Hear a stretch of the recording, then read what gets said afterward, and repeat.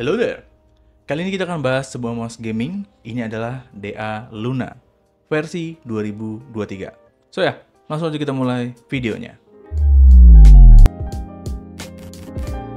So ini adalah Digital Alliance DA Luna V2 versi terbaru dari DA Luna. Oke, pertama harganya dulu nih. Harganya masih sangat terjangkau banget di Rp149.000. Dan dalam paket pembeliannya, kita akan mendapatkan mouse-nya itu sendiri beserta surat-surat cintanya. Sebelum beli, kita akan diberikan dua pilihan untuk warnanya, ada hitam dan juga putih. Di sini gue megang yang warna putih dan desainnya ini sangat clean dan simple banget. Gak ada aksen sama sekali ya. Grip tape maupun tekstur pun juga nggak ada di mouse yang satu ini. Dan ya ini akan menjadi sedikit nilai minus karena pas tangan berkeringat, ini bakalan licin banget. Jadinya tangan harus tetap tetap ring pas menggunakan mouse yang satu ini. Nah, DA Luna ini menggunakan shape ergonomik.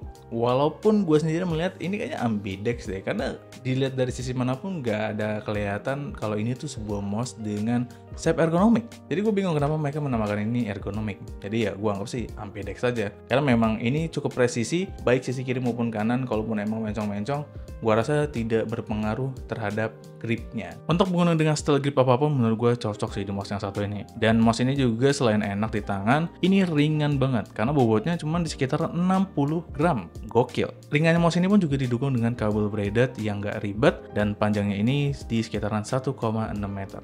Overall ini sih udah oke okay ya. Nah di bagian dasarnya ini oke okay juga. Mousepad yang cukup gede di bagian depan dan dua lagi ada di bagian sisi belakangnya. Agak nanggung sih rasanya tapi menurut gue sih ini udah cukup di mouse dengan harga yang sekitaran segini. Tapi yang bikin gue bingung pada awalnya itu adalah bagian yang ini. Jadi mouse ini sebenarnya udah enak ya dan kontrolnya pun juga udah bagus. Tapi itu pun kalau di mousepad yang bagus dan licin. Sedangkan di mousepad yang kualitasnya mungkin biasa aja, bagian yang bertekstur ini jadi sedikit menghambat pergerakan mouse-nya. Jadinya ini ada plus minus tergantung kondisinya. Tapi overall menurut gue bagus lah untuk gliding dan juga kontrol dari mouse yang satu ini. Oke, sebagai sebuah mouse gaming, spesifikasi yang ditawarkan untuk di harga segini cukup GG banget sih menurut gua. Untuk sensor yang digunakan adalah 825 IC, ini sebuah sensor optical ya. Dan untuk DPI-nya ini bisa up to 12800 DPI. Untuk polling rate 1000 dan frame rate itu 7000 fps. Lalu untuk tracking speed ini 60 fps dan acceleration-nya 20G. Switch yang digunakan oleh mouse yang satu ini adalah switch Huano dengan lifespan sampai 10 juta kali klik. Klik kiri dan klik kanan ini oke okay banget. Scroll wheel-nya emang agak sedikit tersendat menurut gua tapi overall udah oke okay lah ya dan saat buttonnya ini udah enak banget. Overall untuk tombol-tombolnya ini sudah oke. Okay di harganya yang di 150